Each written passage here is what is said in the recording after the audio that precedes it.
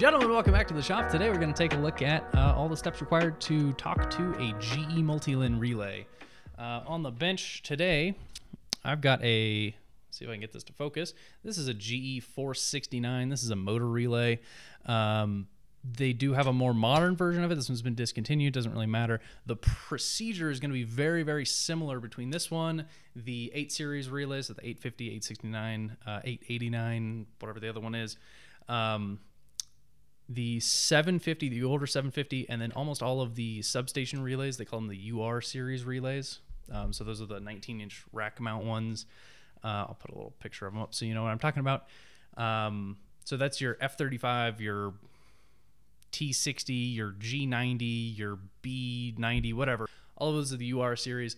Um, there's little differences here and there that I'm going to point out as we go. Uh, but for the most part, it's the same procedure. Now, unlike on the SEL relays where it's the same software, AcSELerator works for every single SEL relay, there's different software for each of these. So I'm going to show you how we do that as we go along. Um, first step, we're going to download the EnerVista Launchpad software. So you're going to go to gevernova.com, search for Launchpad, or you can just Google it. That works too. Um, you do need to make an account with GE. Kind of annoying. Doesn't take very long. Make an account, and then you're going to click uh, download. Go through all the prompts and install it. It's not rocket science.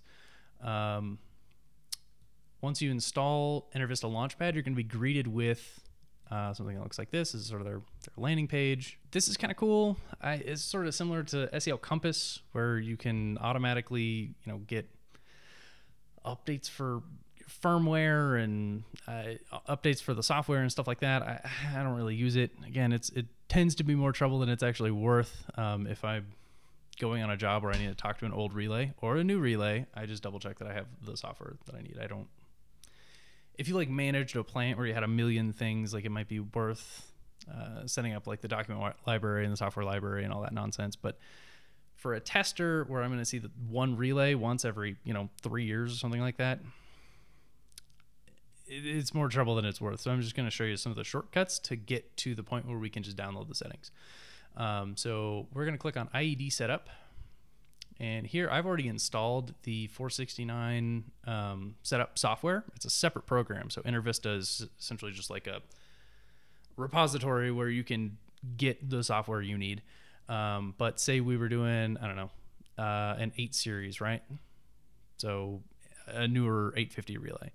Um, in here, so EnerVista Launchpad, click on IED setup, you get this. It essentially is just a list of all the setup software that you already have installed on your computer. And it's where you would go to find the new software. I have essentially a shortcut to the 469 software, right?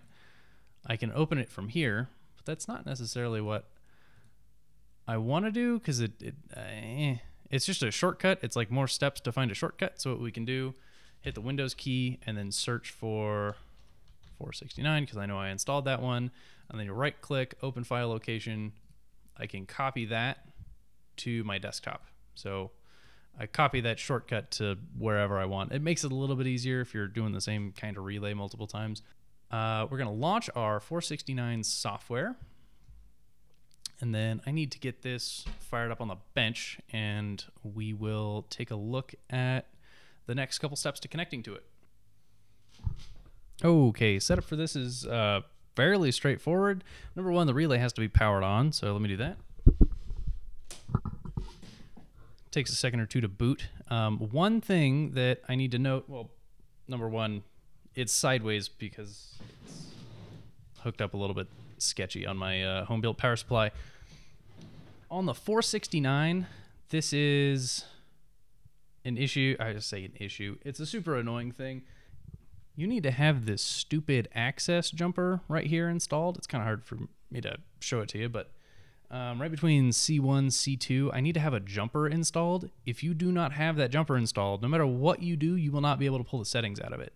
Um, so if you think you're hooked up right and you're having issues, double check that it doesn't have an access jumper um, port on the back of the relay because that that will prevent you from pulling the settings out of any port uh, or from changing the settings on the front panel. They do that for, I guess, security reasons. I don't know. It mostly just annoys me and all the other relay guys I talk to. All we need now is to connect a generic uh, USB to serial adapter. So this is an RS-232 to USB adapter. Set point access light is on. That tells me that I will be able to change settings once I you know get into the software. Um, so unlike on the SEL relays, uh, where there's a couple different settings that can change to mess you up, there's really not on these. So all of the ones that use a serial cable all have the same RS-232 settings. It's all eight data bits, uh, no parity, and one stop bit. So they're all pretty much the same. We don't have to check any settings on there. A couple things on this first. So when you launch uh, the 469 setup software or the UR setup software or the 8 series setup software, um, you've got this big main window. This is where we're actually to like look at all of the stuff. This is what's called our online window. So if I've got a, a big site with a whole bunch of relays that are networked together, I can have them all online at the same time and I can see different things at the same time. That's kind of cool. The way that we would do that is in the device setup, uh, you know, add a site, site one, whatever, and then I can add, you know, multiple different sites here. And if I'm, you know, networking them together, I can do all this stuff. And that's, that's awesome for the few people that actually need to do it that way. I don't. And you, as a guy watching this on YouTube, you probably also don't need that. Uh, if you're just testing relays, you're only going to be at the site, like I said, once every three years to test a handful of relays, and you don't need to pull a bunch of data, you know, constantly. What I do is I just click the Quick Connect button, right? So we get our prompt, uh, our interface. You can either use serial or Ethernet. Uh, the 469, the one that I have actually doesn't have an Ethernet port, so that's worth noting. Uh, we have to use serial. Uh, COM port. So where do we find our COM port? So we'll go hit the Windows key, uh, device manager, and then we'll go down to ports, COM and LPT. Um, I know that COM1 and COM99 are things that already exist. If I unplug my serial cable, COM3 goes away. Okay, so COM3 is what I am connected to the 469 on the bench with. So that's my guy right there. Um, if for whatever reason you have like a little orange icon here, it says it's uh, you weren't able to update the device driver, whatever. Uh, I show in a previous video how to manually update um, USB serial drivers. Go check that out if uh, if it's um, not showing up here as a COM port. So we're gonna go quick connect device. COM3, and now here, like I said, there's not a lot that can change on these relays. Um, I've got 9600 and 19.2. Those are my, my two options. So it's either 9600 or 19.2, and I can't remember which one it is. Uh, so we'll try one and see if that works.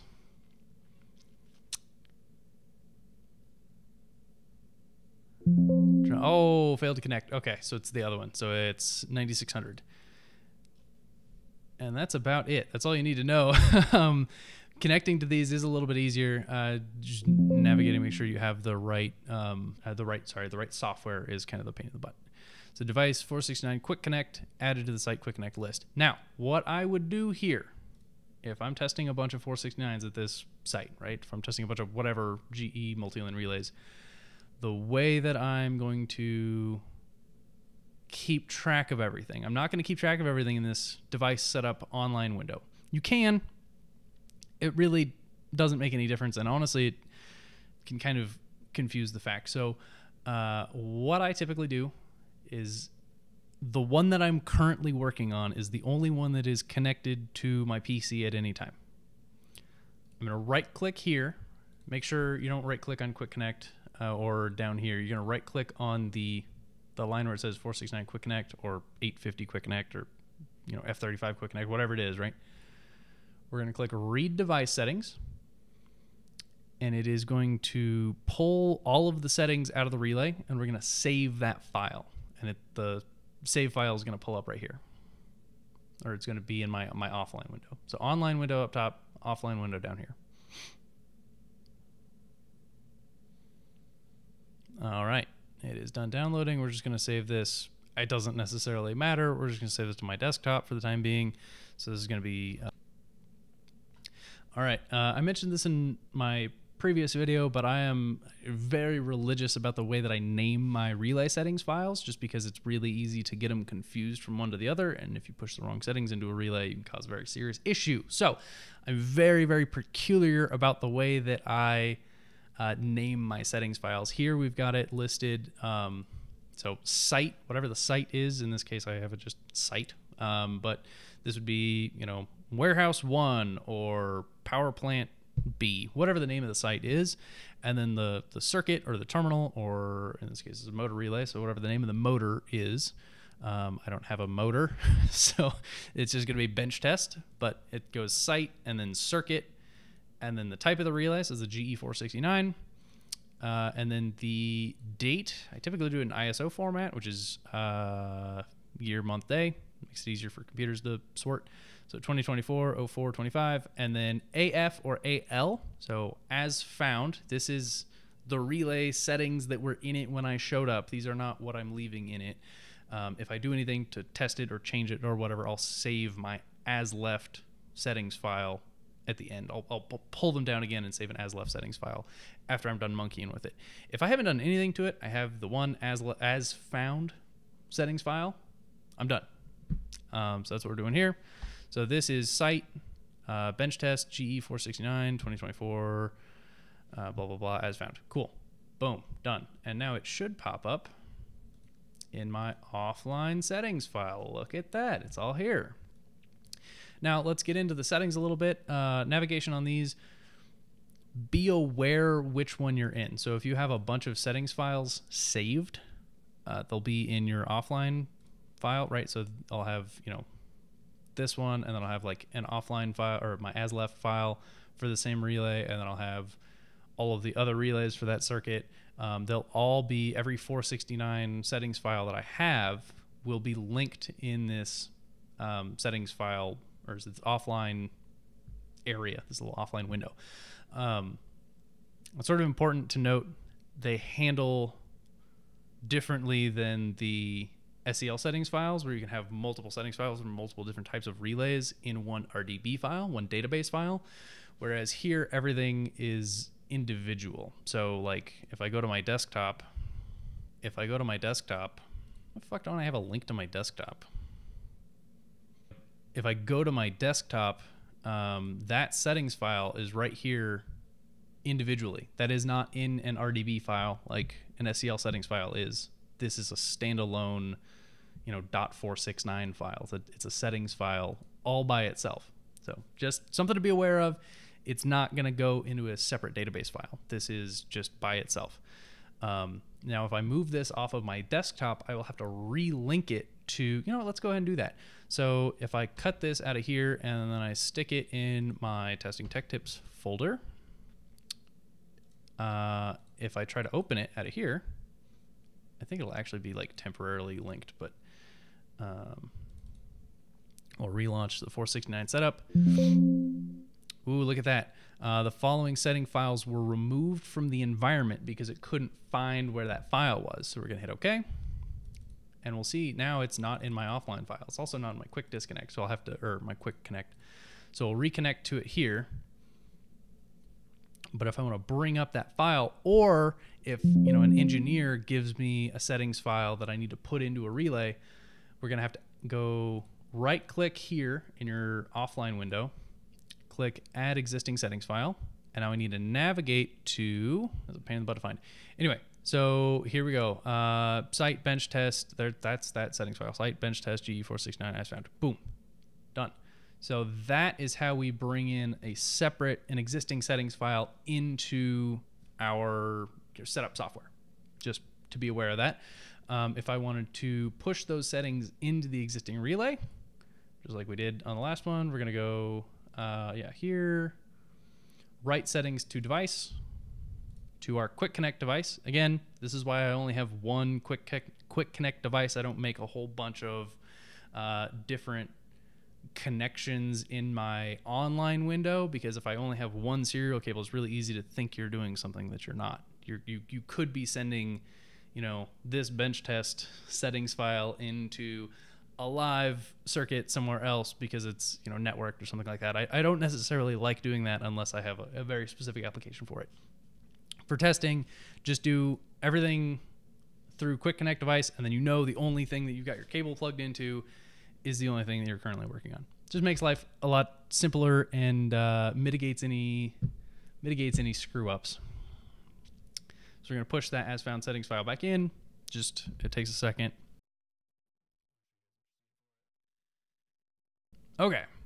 So we push essentially the same settings file that we pulled out of it. We push it back in uh, a couple other things uh, the way that the settings are laid out. So you've got the the settings settings group here.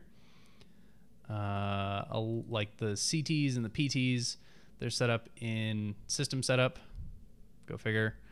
Uh, and then they pop open in this little window. It's good to know. Uh, protection. Most of the stuff is going to be in protection. It's going to be our thermal model, stuff like that. That that's that's kind of cool. And then the actual live values are under this other tab. Actual values. Go figure. Metering data generally this is what you're going to look at if you're you know troubleshooting something. It's all going to be in this window. Now uh, there's a couple other things. Not that one. Update firmware. That's good to know. You have to have the firmware the up the firmware update file separately. I think you can get that right off GE's website. It's good to know. Now uh, these two right here event recorder and waveform capture so if we go to the event recorder this is very similar to the SER that we had in the SEL relays. So it's just a, a list of all of the things that have happened to this relay. It's not as easy to configure, so some of the uh, some of the data that you might want to see in your events recorder aren't necessarily all going to be here, but you know you, you, get you get some decent stuff. Um, we can see here this one was taken out of service 2020, uh, sorry 2018 and you know I just started messing with it today. So there you go. Uh, yeah, put in service 2017, taken out in 2018. So yeah, this one hasn't seen a lot of use, but it's kind of an interesting thing. Um, you can click on an individual thing. So let's say motor started right here. If I click on this one, it tells me how much uh, current happened when it took this little snapshot. So kind of nice. Um, you can save that offline to see for a future date or send that to an engineer, whatever you want to do. The other one is the waveform capture. This one I think is a little bit harder to set up. Uh, select which trigger you would like. Interesting. Yeah, this one has never recorded an oscillography before, so it must have never either never been set up correctly or never actually saw a real trip. So we'll go wave uh, trigger waveform and we'll select that and then go launch viewer. It's not as as easy, it's not as configurable as the uh, SynchroWAVe event that SEL has. The ones for the 8 series relays and SR series relays are a little bit more configurable. They're a little bit better. Um, most of the Multilin relays have kind of a cheesy, sort of half-assed uh, waveform capture function. Uh, really, on this, if it's got like differential, like that's you'd be able to say, oh, one of my CTs is backwards. Like that's really the only thing you're going to be able to get out of these. But uh, it, it's good to know that they're available, and it's good to know that they're uh, how to pull the events out, right? So there you go, guys. That's the the absolute basics. That's how you can uh, download and upload settings to and from a GE Multilin relay. Again, this is the 469, but it's very very similar across most of the Multilin platform. Um, most of the things look very similar. The one that I would love to show you guys, uh, the one function on here that I would love to show you that just isn't here, there is a protection summary function when you're testing, especially like the 850s or the 869s, 889s, whatever. Um, you get a really, really nice, like, hey, here's the protection function that's enabled and it goes to this output. Here's that that summary is really nice, and they just didn't implement it on the 469's older, so it is what it is. There you go. You got some other cool like live monitoring stuff. Is nice. Uh, click around, see what you get, but uh, yeah, don't be intimidated by it. You're really there's not too much that you can screw up on this end unless you you know, accidentally shove like a blank settings file in, which I've done before. It's really embarrassing. But uh, yeah, stay safe, and I'll see you on the next one, guys. Thanks.